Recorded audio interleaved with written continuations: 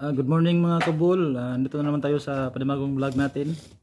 Ngayon ay magluto tayo ng gisadong manok bisaya.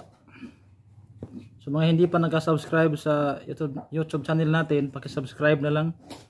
Salamat.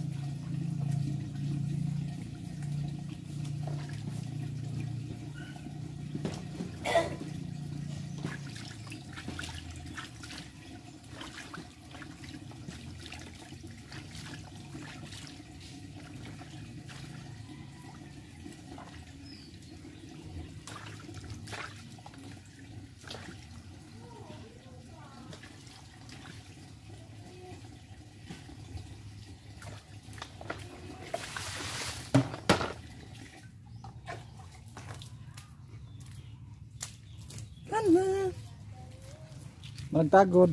Ball, ito na yung manok na marinated na. Nilagyan ng suka at patis. Ah, ito na. Ito na, no?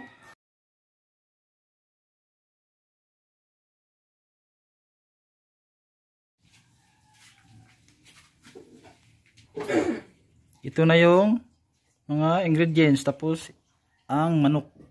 Ang manok.